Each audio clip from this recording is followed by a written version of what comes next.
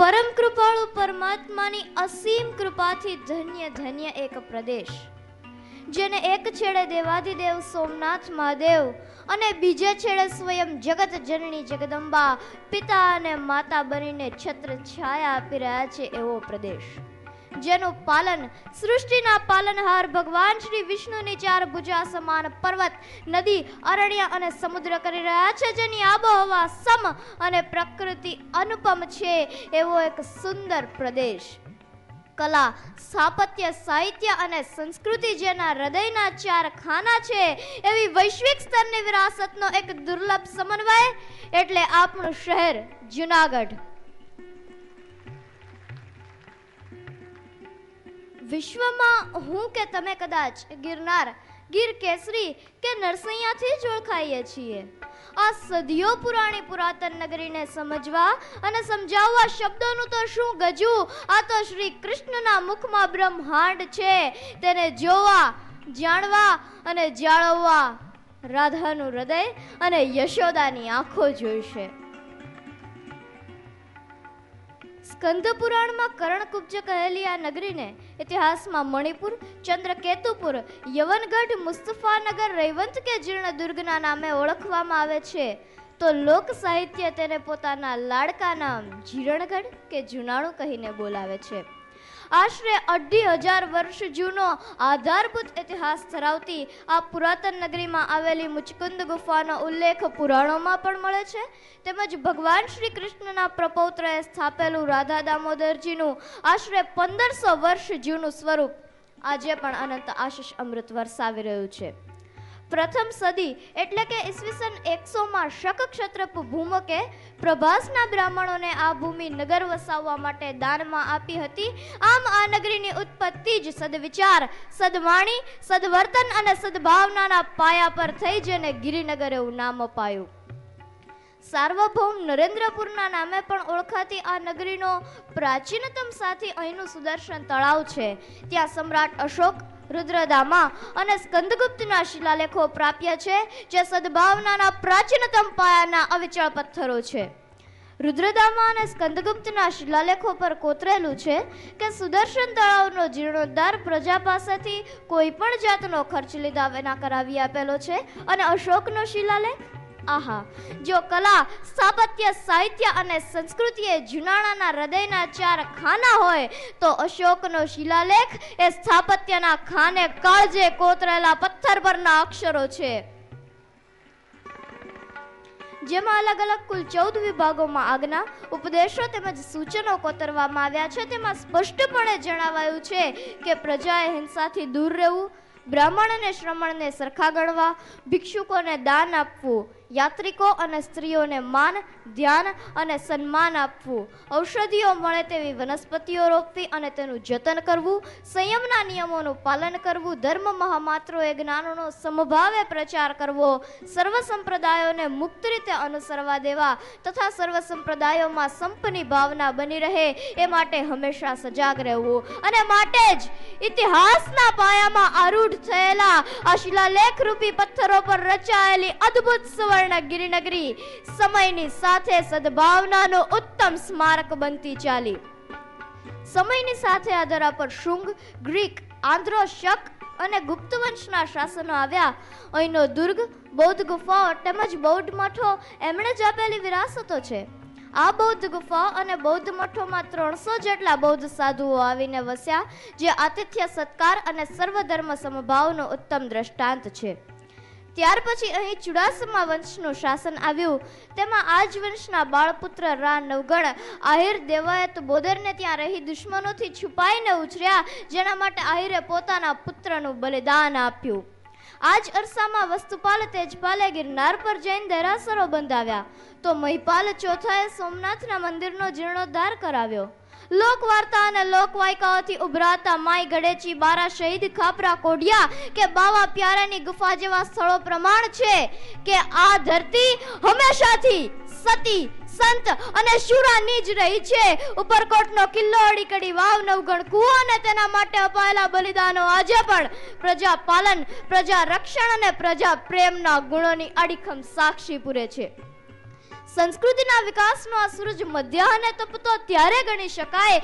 જ્યારે નરસૈયાના નામે ઓળખાતો એક અપૂર્વ દૈદીપ્યમાન, અદ્વિતીય અને અસ્ખલિત આધ્યાત્મિક વારસો જૂનાગઢમાં તૈયાર થયો, જેણે તે વખતે હરિજન વાસમાં જઈને હરિગુણ ગાયા અને સમાજમાં સદભાવનાના સંસ્કારોનું એક એવું પ્રતિબિંબ પાડ્યું, જે આજે પણ સ્વસ્થ સમાજનો પાયો છે. ઉન્નતિનો માર્ગ ઉર્ધ્વગમન તરફની જીવન યાત્રા છે. સફળતાનું શૃંગ શ્રેષ્ઠ તમને પામવાની સાધના છે અને એ જ પરમ સત્યની ઉપાસના છે. કોઈ પણ વિશિષ્ટ કાર્ય કરવા માટે જે જે જીવન આ ધરતી પર ચરિતાર્થ થયા, સદભાવના હંમેશા તેમની વિશિષ્ટ ઓળખ રહી છે.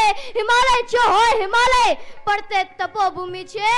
ગરવોગઢ ગિરનાર તો આજે પણ સ્વયં સિદ્ધ ભૂમિ છે. દાતાર અને બડાપીરના ચિલ્લા અને રાણક દેવીના થાપા આજે અહીં મોજૂદ છે. ઈસવીસન સત્તરસો અડતાલીસમાં વીર પ્રતાપી ફોજદાર શેરખાન બાબીએ સુવ્યવસ્થિત શાસન અને પ્રજાના હિત માટે બહાદુર ખાન નામ ધારણ કરી અને જૂનાગઢમાં એક સ્વતંત્ર સત્તાની સ્થાપના કરી, જે દરમિયાન શિક્ષણ અને સાહિત્ય સર્જન ક્ષેત્રે પણ આ ધરાએ અગણિત ધરોહર ઊભી કરી. આ જ શાસન દરમિયાન સ્થાપત્યની બે જોડ વિરાસત કે જેને કારીગરીની દ્રષ્ટિએ તાજમહેલ કરતાં પણ શ્રેષ્ઠ માનવામાં આવે છે, તેવા મહાબત ખાન, નાજો બીબી, નવાબ વંશના મકબરા, રંગમહેલ, ચાંદની ચોક એટલે કે આજનો સર્કલ ચોક અને એવા કેટલાય બે નમૂન કારીગરીવાળા સ્થાપત્યોનો વારસો આ જુનાણાએ મેળવ્યો અને આજે આજે એના હૃદયની ઝંખનાને નવી વાચા આપશું. સદભાવનાના કાંઈ ખમીરથી શબ્દ સાચા આપશું. નથી ફેલાવ્યું ભીતરે પથ્થર પડું ભલે પાળિયાના દેશમાં જીવ્યા અમે. પથ્થરને પણ નજાકત જેવું હોય છે, બની શકે છે. ફૂલો શું નજરાણું તમારું? આજે આપણે સદભાવનાના આ સુંદર પર્વને માણવા એકત્રિત થયા છીએ. ત્યારે એ ઉલ્લેખ અનિવાર્ય છે કે બાબી વંશના છેલ્લા નવાબના એક બેગમ હિન્દુ હતા. આરઝી હકુમતના સ્વાતંત્ર્ય સેનાની દ્વારકાદાસ ત્રિવેદીના સ્વાતંત્ર્ય સેનાની ધર્મપત્ની મેરીબેન ક્રિશ્ચિયન હતા. એક હિન્દુ સંત પટેલ બાપુને જ્યાં પરમ સત્યનો સાક્ષાત્કાર થયો, તે ઓલિયા ફકીર સખીદાતાર મુસલમાન હતા અને આજે પણ શિવ અને વૈષ્ણવ સંપ્રદાયના અનન્ય સમન્વય સમાન શ્રી બુદ્ધેશ્વર મહાદેવનું મંદિર અહીંના માંગનાથ રોડ પર મોજૂદ છે, જ્યાં એક શિવ મંદિરની પૂજા વૈષ્ણવ સંપ્રદાય પ્રમાણે આઠે પહોરની સેવા મુજબ થાય છે. સદનસીબે આ ધરાએ હંમેશા આવા શાસકો મેળવ્યા છે, જેણે આ ધરાને સદભાવનાથી સિંચીને સંસ્કારોથી મગમગતી રાખી છે અને આજનું આ પર્વ તેમાં એક નવી યશ કલગી છે. પ્રાચીન સમયથી પડેલી શાશ્વત એકીકરણની ભાવનાએ આ શહેરને હંમેશા સકારાત્મક અને રચનાત્મક વણાકો આપ્યા છે. સદભાવના આ નગરીનો પ્રશ્વાસ છે, આ નગરીની ધડકન છે. જેના થકી જીવી ગયેલા પૂજ્ય બાપુએ પોતાની અદ્ભુત વૈચારિક ક્રાંતિથી અદ્વિતીય અહિંસક વિચારધારાને વિશ્વના ફલક પર વિસ્તારી.